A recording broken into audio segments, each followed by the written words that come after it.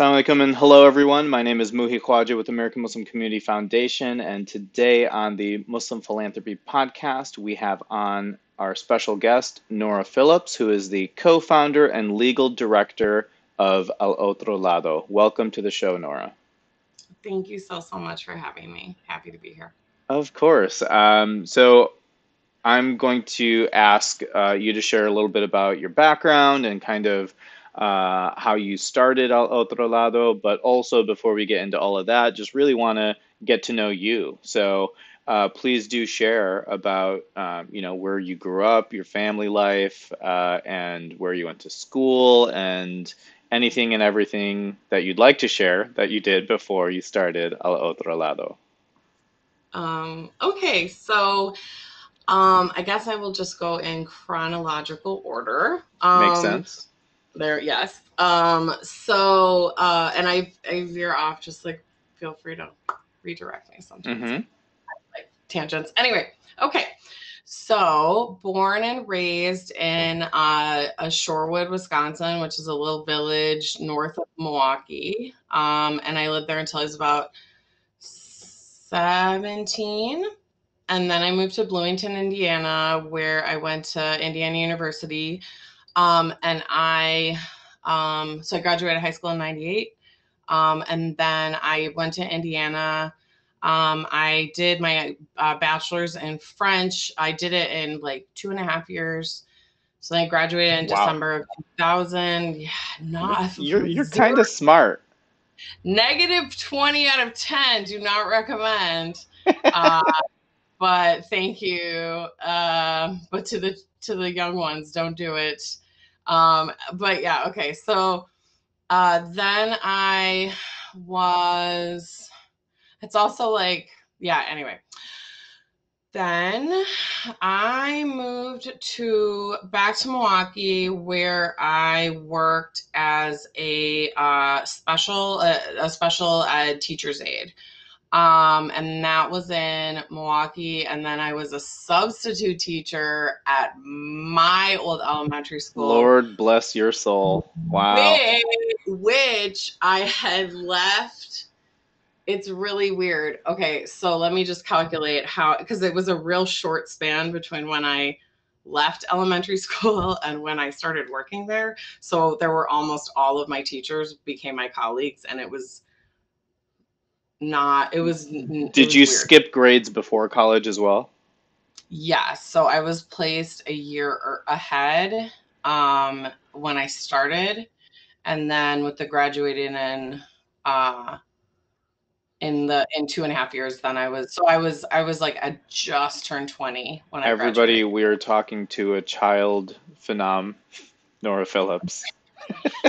Child well, genius in terms of like like advocacy and stuff for um, disabled folks, like I do have a really big learning disability, so I just want people to know that. Well, then that's even um, more power to you. Like, I know, way to go. And I, I also share it with Chris Rock.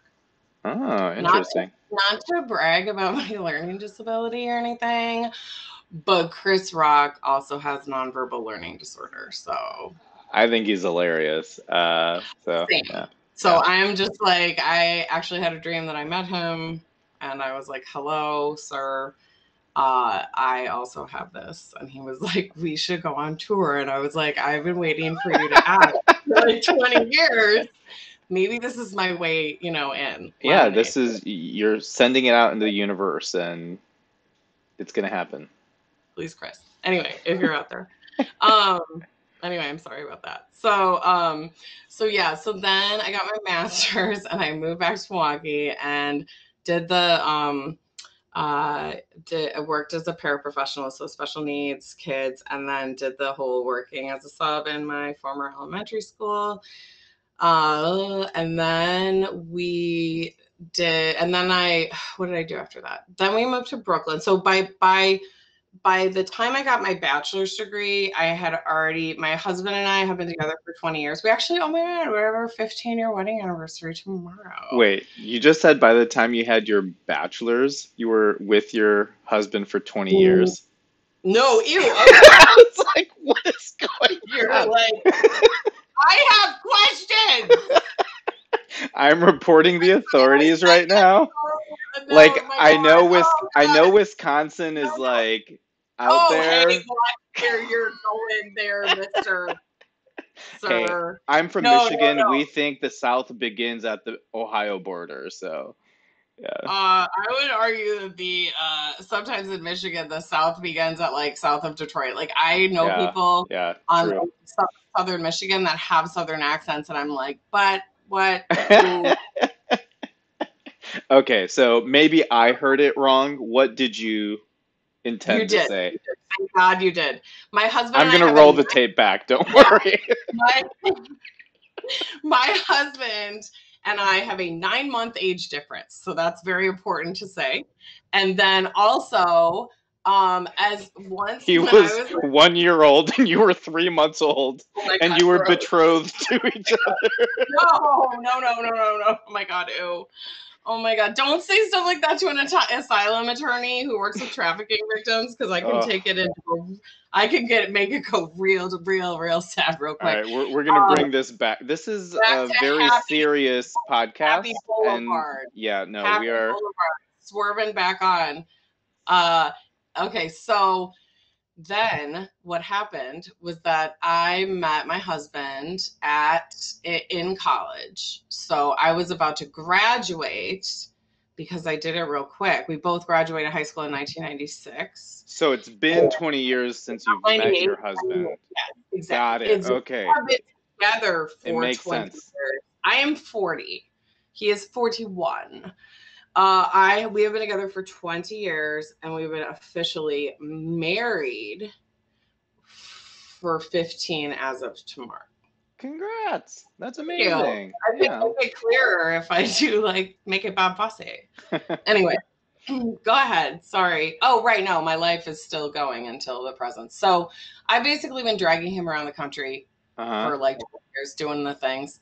So uh, Chicago as well. You get Portland. 20 Okay. years ago, uh, yeah, Chicago for seven years. I got my law degree. He got his uh, finished up undergrad, master's or uh, anthropology, sociology at Loyola, master's Wow. in nursing at DePaul, and then we were like, I, and then I worked at Legal Aid in Chicago because, and then.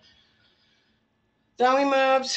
We were like 29, and we're like, the Midwest is sort of like ideologically, sort of like a, I mean, it's kind of like a pair of sweatpants where you're just like really comfortable, but like not your best sweatpants, and you're just like, I'm gonna be in these for the rest of my life if I don't get out now. And we really just felt sort of ideologically like California was where it's at, even But- though we'd never been to LA before. But here in California, the fashion industry as well is like you can wear sweatpants and that's like a cool thing. Oh, I didn't mean it that way. I meant I, like I get it. Oh, but I I know. Yeah. I know. Oh Lord. Uh yeah. No, this was a different kind of sweatpants. These were like the Hanes of Oh, sweatpants, man. not Yeah, like the high end like, fashion uh, sweatpants. Oh good God, no. These are like uh, these are the like what like what that what the HE double hockey sticks am I gonna do with my life here? Sweatpants. Yeah, Got Do you it. know what that means? Did the get that? Walmart. Oh yeah, I put it together. My dog, I don't know if he he understood, but I got it. That's Yeah. the thing. I'm gonna use as many with uh, Wisconsin like cur- uh, obscenities as I can. H E Fair double enough. hockey sticks. um, okay, so what inspired you to go to law school from undergrad? Uh, so I was kind of like figuring out what to do with my life. And I was thinking like MSW. I was think because my parents are MSWs, and my sister's Mhm. an MSW. And then I was thinking like maybe like a PhD, like some sort of sociological thing, Quebecois women's studies. My my relatives were trying to push me towards podiatry. I can't even touch my own feet without I do. I wash them, but I cannot like examine. I'm sorry. Podiatrists are extremely important. So anyway, um then People tell me I have flat feet. I don't know how that affects me, but yeah. I mean it could be really okay, I, I have a genetic connective tissue disorder, and so I and I'm a former ballet dancer. Hence the bar. So yeah, I could really go on a big old musculo-physical entire health history tangent. Uh, so we can table that for later to talk Yeah, about that's it. my other podcast that I have, so I'll bring you on that. Is it called pod like podiatry? Touche. I bet you there is one. If there's not, you need to start it. Okay, anyway, sorry. So then, and I had lived in New York like 2002 to 2003. Um, and it was very much, you know, post 9 11, high or like beginning of just like vicious or like not beginning, just vicious Islamophobic backlash going on. And I remember the seeing a line of people, it was like men and boys who had to um uh who had to register under I always forget what it is, whether it's it's I have dyslexia, whether it's NSEERS or SEVIS, which was the horrible um oh can I Google this? It's driving Yeah. me crazy. Go for it. I know. I I heard it's like against the ethical or the the rule. Okay, and of course, honestly, seriously, this is when my my uh my mouse doesn't work. Are you serious, Mark? Well, there are no rules on my podcast, if I that's mean, what you were getting to. We just have conversations. But so so you see people there was having to register. correct. Yeah. And it was like, um, and it was, I think it was NSEERS. I'm almost positive. I think SEVIS is for uh, F1 students. I'm sorry, I'm getting like non-immigrant visa immigration Yeah. shame blu- blushing right now. So that's what this is. So anyway, there was a, um, it was terrible, and it was everywhere in New York, just like horrible, horrible, like hate crime, hate crime, hate crime, hate crime. And I'm like, I need to be a civil rights attorney. So that's what's gonna happen. Because like I want to be able to sue the bad guys because this is horrible. And I have other obscenities that I would like to use aimed at injustice for this particular situation and a lot of a rainbow of emotions, but like I'm I'll just hold it back for the sake of like production value.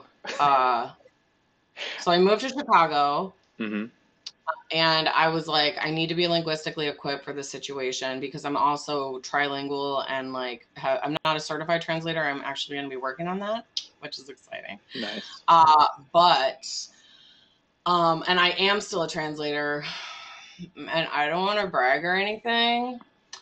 Um, but can I just take this happy little little alley? Can I just go Please do. little, Yeah. little? It's called Deep dive brag into it. called Brag Alley. Okay. So not humble brag. That's a different street. That's like the cul-de-sac where the elegant people live. like, We're on this X. other, yeah. yeah, I'm Gen X. Like I don't I, I what I like doing to my younger folk is I'll say like like some phrase or something and I'll space it all out and then just space and then do the hashtag at the end. Just use it wrong. That's cool. I love But it. I think I'm struck I anyway. Okay. So um I'm sorry. So the happy thing is thus. Uh I work very closely with an organization called Cielo, which is Comunidades Indígenas en Liderazgo. And the org, um, everybody should fund them. Um, there it's my cielo, so M-Y-C-I-E-L-O dot O-R-G. Mhm. And um, what they are is it's like a they do linguistic access advocacy for indigenous um, language speaking individuals and they're a collective sorry that was my elbow we are okay to my west coast folks who know about earthquakes right i think anyway hopefully Oh wow. No did you feel that was my elbow is what i said like Got it. So okay, it was not an earthquake. no It was no just we your are elbow oh, shaking the camera. that Got was a that was a nora quake okay sorry about that No worries. Um, so okay, so um, so the organization we work with them very closely. We have a lot of uh, clients who are undocumented um, immigrants who are monolingual, um, indigenous language speaking, primarily from uh, or overwhelmingly from Mexico and Guatemala.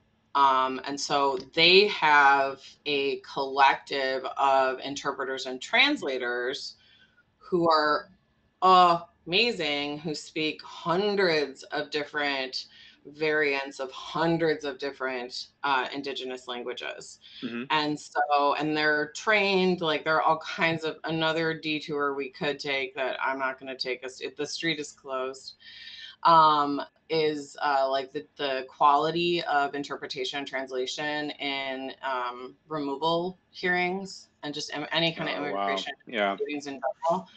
Just good God. Uh, like literally, I've seen immigration officers at USCIS go into the waiting room and yell out, anybody speak Spanish and English, and like pull some stranger in to do Wow. a case that's like, let's, I mean, it's just a, it's a, it's a due process disaster.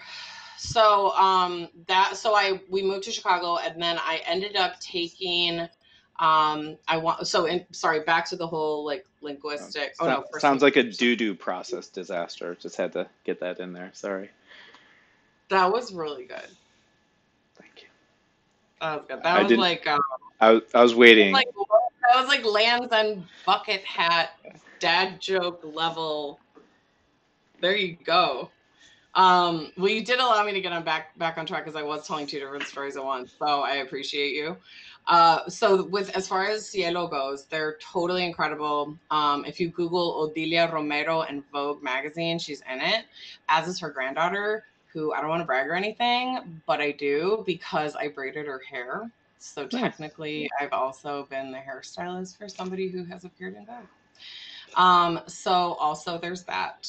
Uh but the thing that's cool is this org the, uh, the thing that's cool other than all the amazing stuff they do the part that relates to is that they needed somebody to translate a document from legalese to spanish to quiche. And who better to do it than Nora Phillips? hello how you doing? Yup. So i am officially one of their translators for the language of lawyers, which is generally I describe as uh, there's a word and it's like I I don't know if I should say it. It's I'll modify. It's hard to modify. Basically, like ninety percent, like ninety percent Latin and Uh-huh. ten percent beep. Got it. Yeah. yeah it's just and it's just so like educationally like class not like Mm. classes but but the, whatever the parallel word is for educationalist it's just like ugh. it's like word drag one of my friends Elitist, yeah. calls, one of my friend calls uh like fancy expensive court apparel that immigrant or that lawyers are supposed to wear class drag Mm. because it's like so much pressure on law students and Right. a lot of people a lot of different professions to like wear a nice suit it's like oh yeah that's totally i can buy that yeah Let me add that to my years of debt that I'm going to incur. panic attacks for a bunch of different reasons i've had it like an Ann taylor like do you have like When I was in college, I got most of my clothes from like Salvation Army. And like I could have like, you know, whatever. Like when I was yeah. when I was post JD 14 years and very very slowly working on her MPH now get stuff mostly at St. Vincent de Paul thrift store. So it's essential. Also, if I could say if there are anybody, if there's anybody, just like to shout, give a little bit of a shout out to the thrift store. A like way more sustainable because fast fashion is Yeah. like trafficking city. And then also um, the Garment Worker Center in Los Angeles is amazing. You should check them out. They do a lot of anti um, anti trafficking work for sweatshops. And then also the other thing is for like the new parents out there, especially like get it used because it's just gonna be gross. right? Anyway. Yeah. A And little then they're gonna tidbit like- on. Go ahead. Tell me. No, I was just I was just gonna say the fast fashion bit that Hasan Minhaj did on Patriot Act was very insightful uh, and eye Oh, opening I for me. love him. I have not seen that. go for it. It's on Netflix. Okay. It's on Netflix. Okay, I'm gonna reach Yeah, really far over because I twisted my camera to hide the mess of my house. Right, no worries. Yeah, Patriot Act, Hasan Minhaj, one of his more recent episodes. Um, but let okay, so me, my Cielo does fantastic work. We My wrapped up. yeah, Cielo and the website is mycielo.org. Is there a hmm chat function for this new? Do, We'll we'll like put it in. We'll put it in the notes. Yeah. No, I'm going to be extra Gen X. Uh, I might even be boomer right now because my uh, mouse seems to have disappeared. And Don't even worry about it. Nobody needs to know. Uh, so, uh, and then you went to law school because of the backlash that you saw towards the Muslim community and wanting to defend the rights of your fellow Americans. Um, and from there, you bounced around to a few cities. You uh, eventually landed in LA.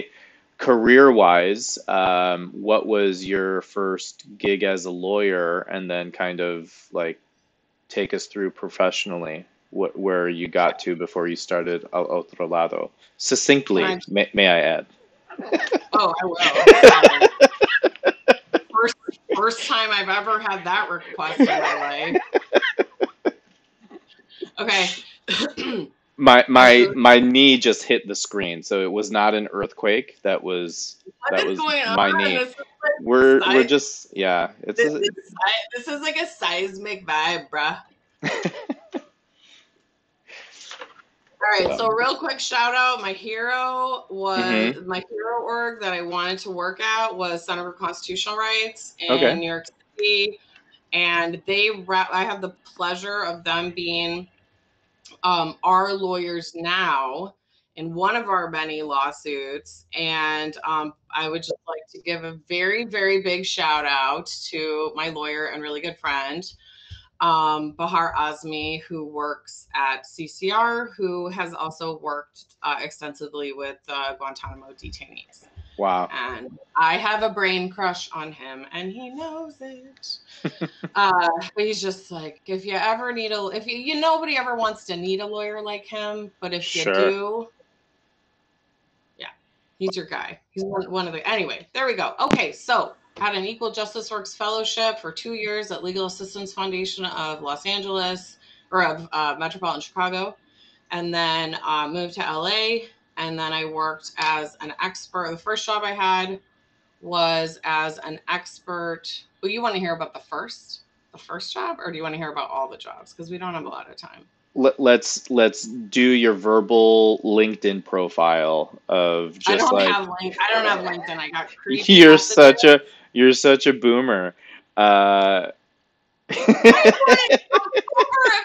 1980, sir. I shall have you know that demographically, technically, I am what is called a zennial, and they say that we have a same for you. Yeah, I'm a Zennial. 85. I don't know.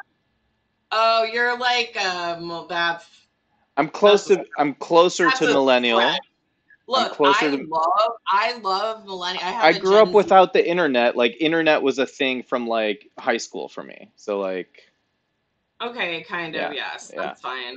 Like, but I, I have a Gen Z kid and I love millennials, so there you go. There's your boomer for you. No. anyway, okay, so then I had a um I worked as a consultant immigration expert for the on the U visa, which is a type of uh, non-immigrant visa for victims of crimes. That's kind of like one of my Mhm. niche areas. Been doing that for like since like 2006. Um, and then I got a job at on the Central American Resource Center in Los Angeles, and I was a staff attorney for um, doing U visas and some um, self petitions under under the Violence Against Women Act, which is also for survivors of family violence, without getting into a 90, 90 minute footnote with a Yeah. Um, and then, just kidding, I prefer Google Slides. Um, then I worked there for four years, and then I got pregnant, and then I was like, this isn't gonna work because of schedule, because of you know, new human, just like a variety of things. So I um ended up uh, having my baby um, and then mo- and then I ended up shortly thereafter um, leaving CARECEN and opening up my own private practice with another friend, um, Laura Urias, who's still um, my buddy, and she's a great immigration lawyer in LA. Um, and we had a law firm, Phillips and Urias LLP. We had a cute little butterfly logo, and we did all kinds of stuff. You know, detained ICE, family petitions, like naturalization, all the things. Um, but I had been doing Al Otro Lado. I co-founded it in 2011, so I'd been mm-hmm. doing like double job kind of situation. I didn't get paid sure. until 2018 or something. So anyway, blah blah blah. Then, uh, you know who gets elected in 2016, and then I cannot even say the name. And then, um, yeah, um, I heard somebody call a PT. I have complex PTSD. Sorry, TMI, but I have. You need to know this to see that it, maybe I can make this joke. That I saw that um, somebody who also has is like PTSD TikTok. She was like, "I'm gonna stop calling my flashbacks flashbacks. I'm gonna call them spicy deja vu." so I spicy deja vu every time I even see his name. So I can't. Yeah. Anyway, so he who shall not be named got elected and even before that person took office the C, the change on the border by border by cbp customs and border mm-hmm. protection was like immediate. It was like you're not getting in. No asylum seekers no refugees. Go to the consulate. Go to a refugee camp. Hmm. closest one in peru. Like really awful things and then eventually just saying like the borders are closed to asylum seekers. So everything was so it was like 911 so i quit at the um at the firm and um or i left the firm. I wasn't like i'm out of here. It was like has been an amazing experience. I love your baby. We're gonna text every day still kind of thing so then I uh, just kind of became like full time, full time, overtime at Al Otro Lado. And yeah. we went from like, you know, I don't know, like three, three staff in like uh, 2018 or 2017 to like, you know, 40 staff. Wow. And we're at Asociación Civil in Mexico as well.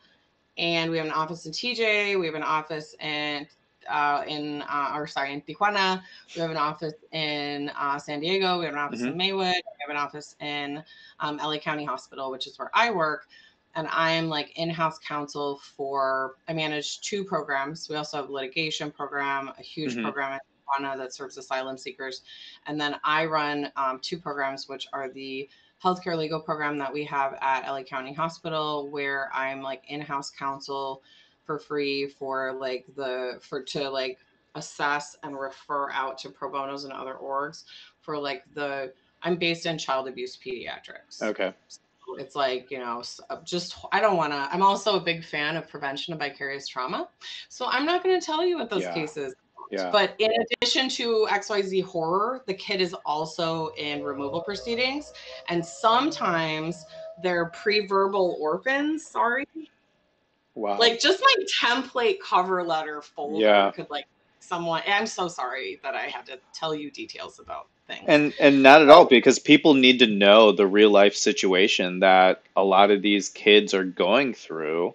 And yeah, they are so fortunate to have you and Al Otro Lado on their side because if it isn't for nonprofit organizations and lawyers who have that drive to do this day in and day out and i can't imagine that it's easy um like just no. bless you like amazing oh, on you. you and all the other people who are in this fight to provide basic decent human rights for children who are being detained and deported and sent to detention camps so my heart goes out to you and your entire team for what you do every single day.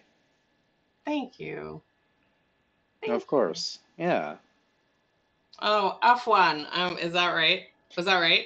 It, it definitely is. I speak okay. I speak Urdu and Hindi growing up, so that Wait, I uh, uh, afwan I think is uh, I'm sorry. I think shukran is the thank you.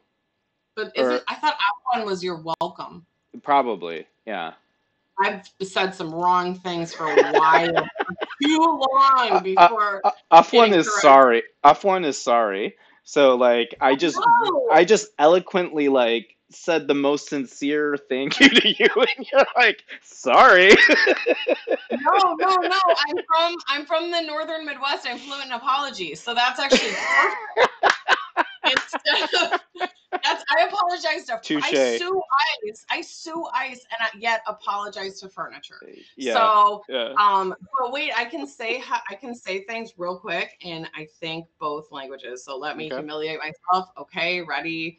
Um Ana ismi Nura. My name is Nura.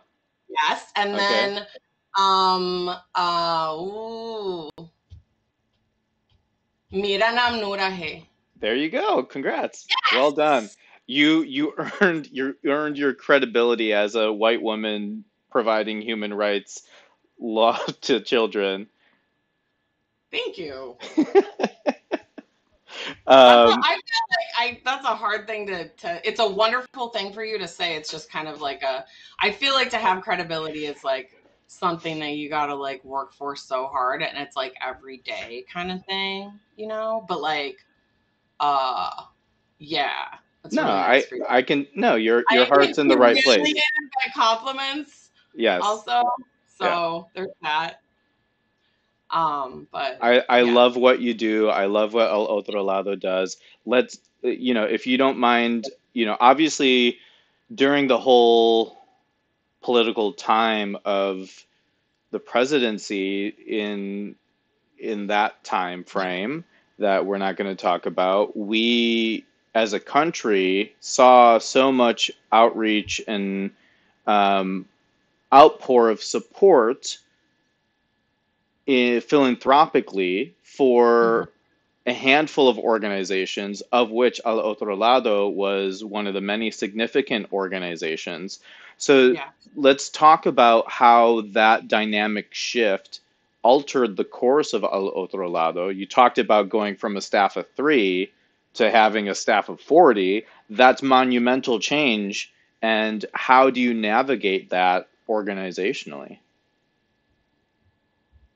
Mm, it's like a really well padded kayak. It's like because you said navigate, and my brain was like, "What metaphor time?" Um, but for real, like I, I think that it was an enormous change, and it's gonna cause some. You know, you've got like the old guard, who you know, like I'm, I'm gonna inevitably, as a human, like things are gonna change, and like you just gotta be comfortable with it you know even if you know you feel like somebody you gotta like let go. So i we got you if, if we expanded dramatically because we were one of the organizations that um, responded. I think we were up the most clients out of any other org for the separated families due to the zero tolerance policy at the border so we were the only org. I think people found out about us and then sort of looked to check our credentials, which as any, which any and every funder should.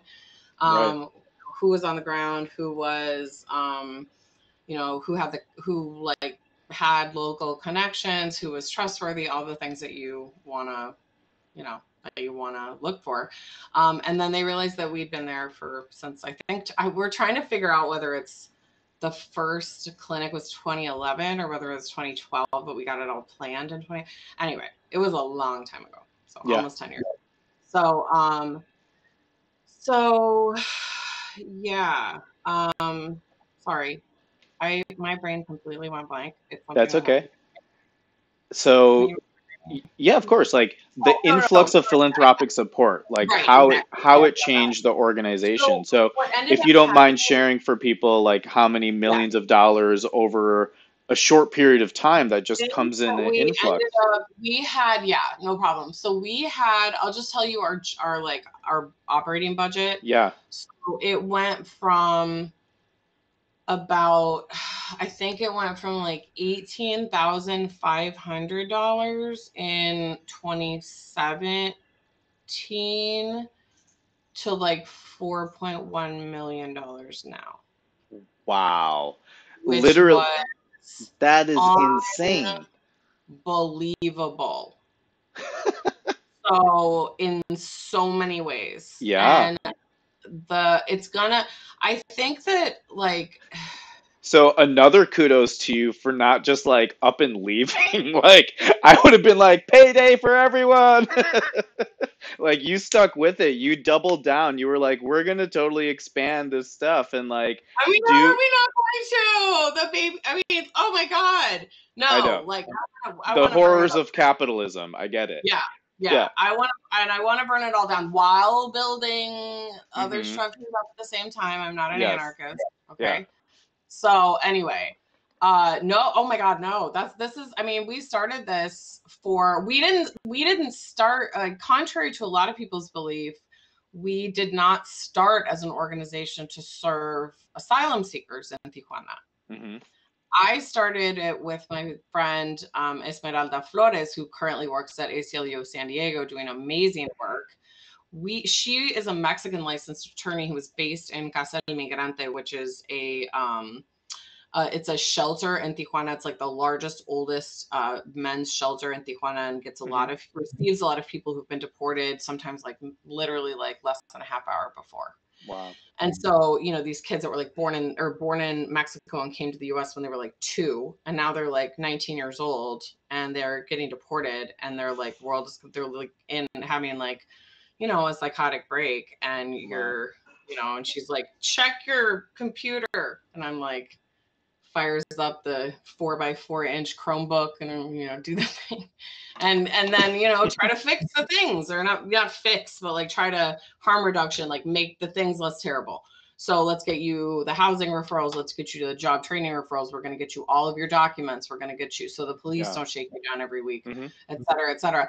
But the point of what I was trying to say is that we the first problem program we ever had, which is our most underfunded program, is the binational family unity program, where which is based in Tijuana and was our first ever program. It was formerly known as our deportee program. And mm-hmm. it was working with folks who'd been deported mostly out of prison, who are just like literally spit through a turnstile into a place that it can be like really super scary. So, anyway, we have always had an idea, the sort of like legal, legal and social service midwifery, where we're able to kind of sun, and sometimes we know that folks are coming um, through because like they're federal public defenders, like we fought it till the end of the line. There's no immigration relief.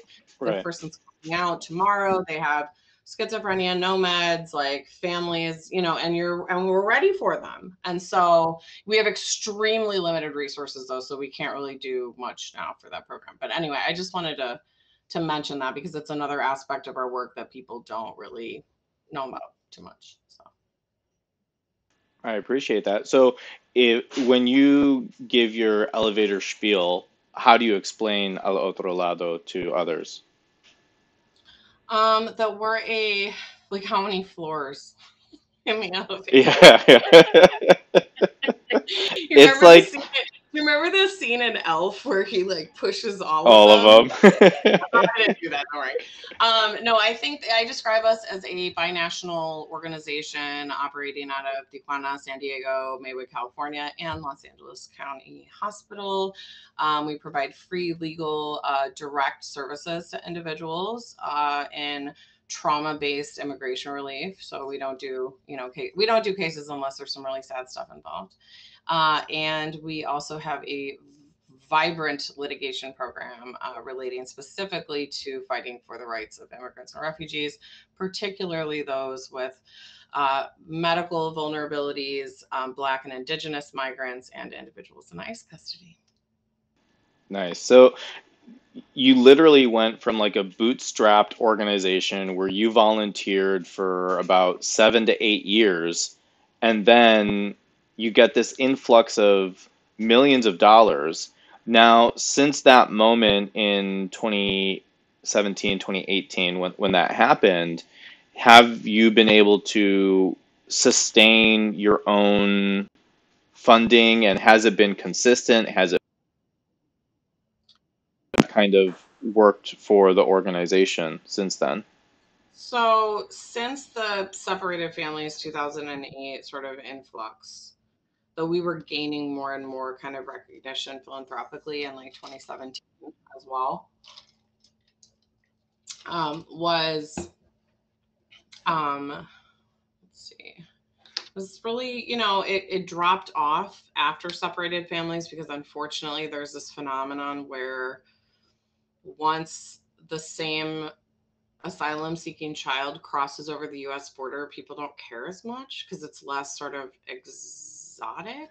Mm, It's less like yeah. it's not considered like my own school's public health program doesn't consider refugee and immigrant health a global health issue because including people over the border like in border towns so it's sort of like disregarded it's much more attractive um, to a lot of funders to like the, the same pro that same program was talking about like um, you know doing their like access to water rights in african countries. And so we're very much more kind of local. Um and so uh yeah so anyway it dropped off. And um we our our main priority is um you know striking the balance between staff wellness and you know capacity and need so we hired a lot of staff to do services because it's kind of terrifying. It's kind of impossible not to in the face of things that are totally like obviously speakable, but I'm not going to speak them for everyone's benefit. You can imagine. Um, just horrifying things. Um, and I don't want to get all like rainbow of feelings on this. So. Um, if, but if anybody wants um, any information about some of the stuff that we do, you know, feel free to reach out, obviously. But just the things that happen to, you know, especially the little kids and the moms, and it's just Yeah. really. Um, anyway, but we had we we hired a lot of service people. We did not hire uh, core support accordingly, so there was an imbalance that we are in the process of correcting. The um, Okay. you know, also like really diversify diverse. Diversity is good for like everything.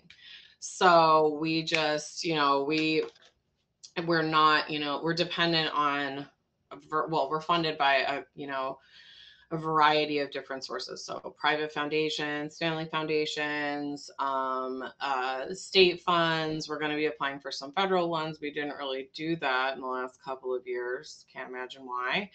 Um but now that is um happening again. That's exciting. And then just uh you know not just pursuing things for like legal services uh, for example like we have a lot of social ser- really exciting social service referral pathway work going on in tijuana for people who have like so we're looking into like p- potential funding for those programs that's like totally outside of the normal you know immigrant rights litigation funders et cetera uh, kind of profile and then also for like the healthcare uh, legal stuff in the hospital that's a whole other kind of pool of funders that we're sort of um, are getting more and more sort of excited the more awareness there is of the program so you know we we i don't want to make us sound like really cool or anything but we were I think you to are. Yeah.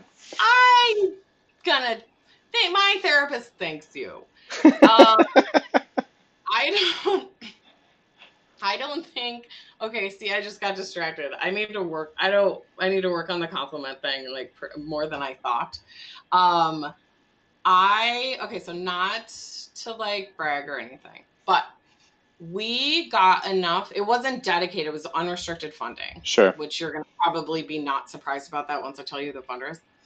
Um, but we got enough. I think it was like sixty-eight thousand to be able to, you know, hire a uh, a staff attorney with benefits and end up like throwing in a little extra because we have good benefits. Also, very important. Don't be performative.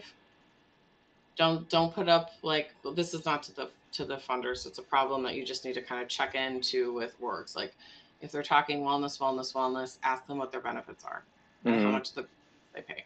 Okay. Like I don't want a little cat hanging out of a Noted. branch that says "hang in there." I want like yo, I want to get away from you people that I love. That's the goal of like Mhm. go ahead, like boundaries, go. I hate borders, but I love boundaries. So, um anyway, um sorry, you said a compliment and then my brain shut off. What did you say? So you said the you were able to get sixty-eight thousand dollars in funding Oh. for benefits to bring on From a staff member. From a rave. From a series of pre-COVID raves in New York City. Like dance party raves, like they raised money or what? Like get the glow like go to Glow Costco sticks the glow and- sticks, Marge. Like, yes. That's fantastic. And they were like, we're gonna donate our proceeds to Al Otro Lado.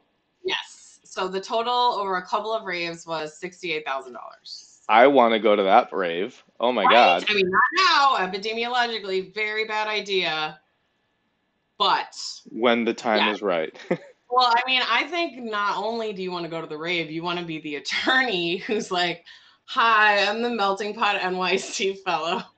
They're like, "I'm sponsored by some giant law firm." I'm like, "Oh yeah, it's cool." They fly me out to New York to go to the raves. It's a business expense, like no bigs. Um, anyway, I said that to a friend who works in academia and was like, "What?" And I'm like, "Yeah, it's not NIH."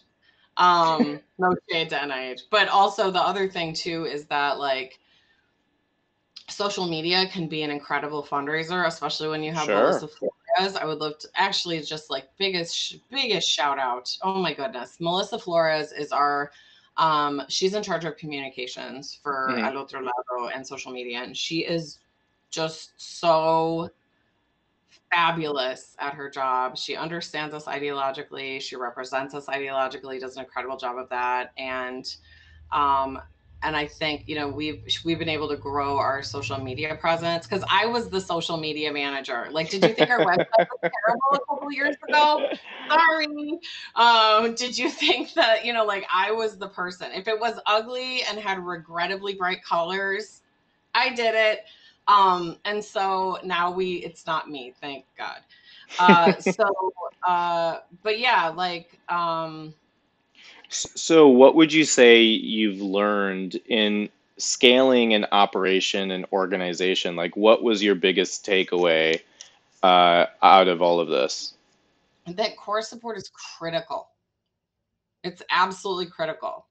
It's critical for so many different things for wellness of staff, um, for um, just organization of it's like the organization of the organization. It's the as it's the it's the skeleton you know and then you've got like hi i'm cartilage what's up? Um and then you know like you've got like i'm actually the i'm like the I'm you know we could sometimes we need to be the tendons. Sometimes we need to be and we just sort of somebody's like oh i'm the central nervous system. That's usually me and so then but you're all working together but you need the the core support. Otherwise you know you're it's not going to go well if you're having to deal with family separation a family separation case. You're doing and then you've got to like you know code switch to uh, like doing some like processing a wire. And then you're back you know interviewing like a traumatized deported father you know whose kid has been placed in foster care and you're like then you gotta you know e- call fedex and be like what mordor cast spell box do i need to unlock to be able to change the billing email for this account? I, I feel like this was an actual day in your life, and it's not a joke because oh no this is like, yeah, like you don't I, even know that was literally a portion of this morning Yeah, a portion of this morning. The day for me will be over in a in a in a it's many hours, yeah. which is something that's like just it's really bad.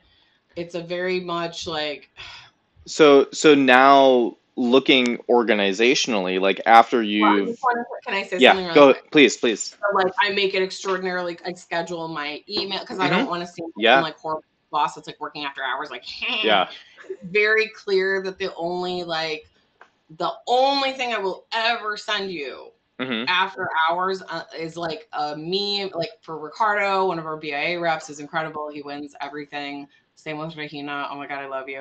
Oh my god.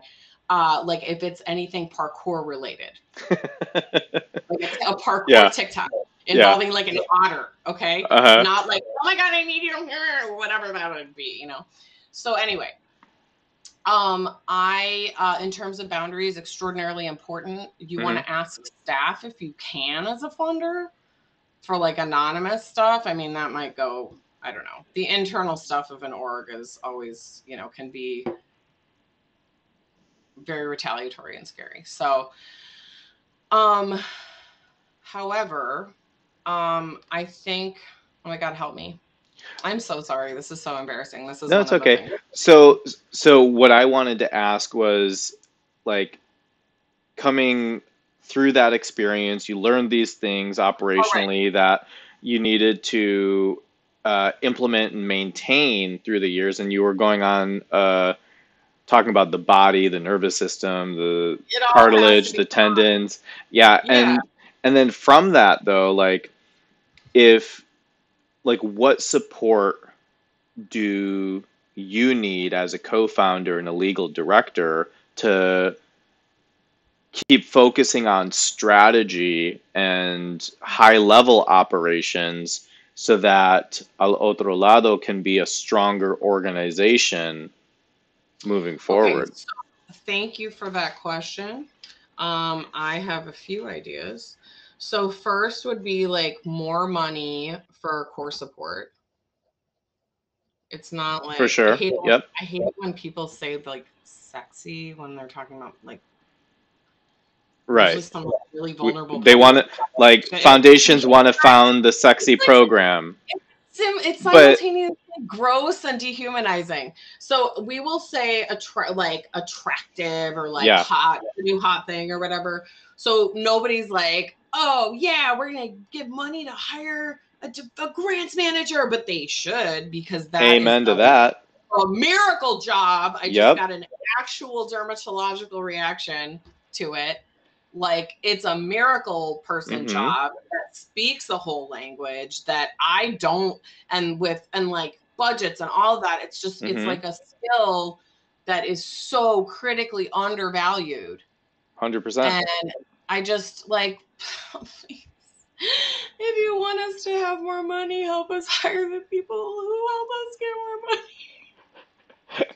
when you send this clip, fast forward to 52 minutes and 29 seconds and just send it to all your funders where it's you breaking down crying, asking for more money. you kind of about- I mean, like, while we're at it, like, well, honestly, okay. So one of the other things too is to help us with interpretation money for specifically a budget, like Awesome. a line item for interpretation and translation. Please, please. Yeah. Then what ends up following? Sorry, this is like I'm in a basement. Slash, I blushed a couple times. Slash, I don't want to turn the fan on, so sorry if I'm sweaty. Um. Okay. You're glowing, Nora. Our house glowing. was built in 1903, and we don't have air conditioning. So, sorry, I'm keeping it very as real as I can. So, um, Appreciate it. Yeah. So uh, that's really critically important, especially because a lot of the folks who are interpreters, partic- well, okay, everything is racist all the time. That's just sort of how I start every morning Mm. and then I, I'm sort of like the burden's on somebody to prove it's not. And so, uh, interpretation and translation, super racist. Uh, lots of in of of uh, parallels in terms of power structures to colonialism, to the point where it's actually like really not like grab your Zofran. It's very nauseating. Interesting. I have Zofran. It's a pharmacal. It's very. It's a very good drug. I hope nobody. uh, sorry. Anyway. Uh, so yes, it's really, really, really bad. Um, and uh, indigenous folks, for example, are asked to interpret for free all the time. Mm. Whereas the same org will be like, oh my God, how much for a French interpreter? Got it.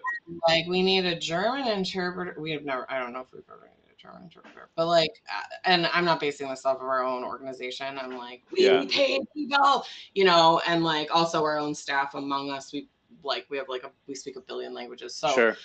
but um, that happens all the time.